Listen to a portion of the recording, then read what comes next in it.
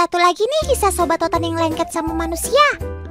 Joni adalah anakan domba yang dipelihara Pak Mul di rumah sakit hewan Lembang teman. Saking akrabnya, bahkan dia mau loh diajak naik angkot.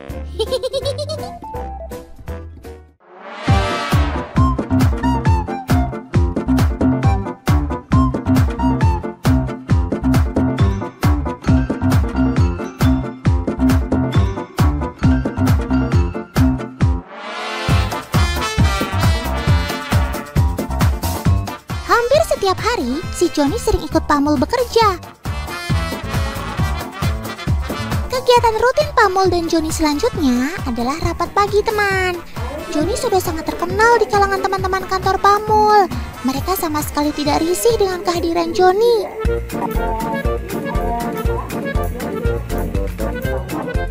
Saat rapat, Joni biasanya tetap tenang berada di dekat Pamul.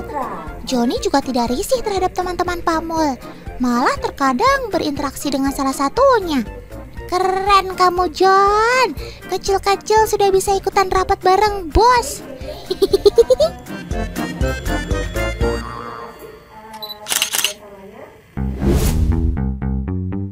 Sekarang kita ikuti kegiatan Joni selanjutnya yuk. Let's go! Pamul dan Joni sepertinya ingin menaiki tangga menuju lantai dua teman. Kamu memangnya bisa naik lewat tangga? Hati-hati jatuh, Sob.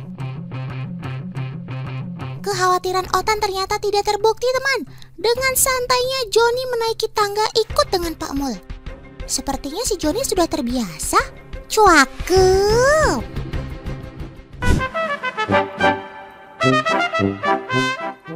Tidak hanya sedang bekerja saja teman, Joni juga terus mengikuti Pak Mul kapan dan di mana saja. Walau Pak Mul ke toilet sekalipun, sobat otan ini tetap mau ikut. Weleh weleh. Kalau ke toilet sih kamu nggak usah ikut ya John, tunggu di luar saja.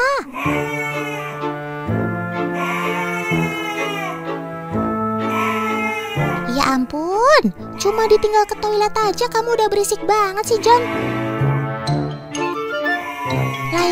Domba kehilangan induknya, sobat otan ini juga merasa kehilangan ketika Pak Mul tidak ada.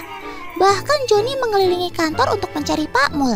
Sampai segitunya kamu sob.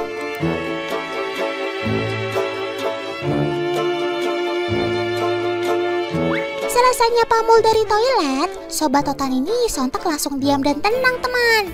Ya ampun John, kamu posesif banget sih sama Pak Mul.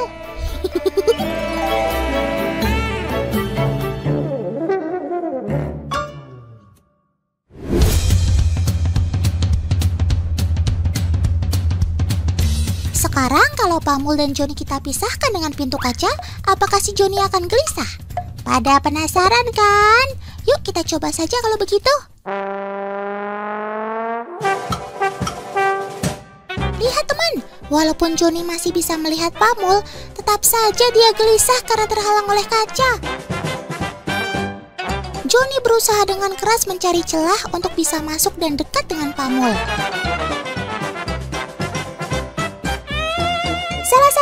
Komunikasi domba adalah penciuman teman. Joni tidak bisa menemukan bau feromon yang dihasilkan Pak Mul. Itulah alasan mengapa dia tetap gelisah. Sudah terbuktikan kalau Joni dan Pak Mul tidak bisa dipisahkan.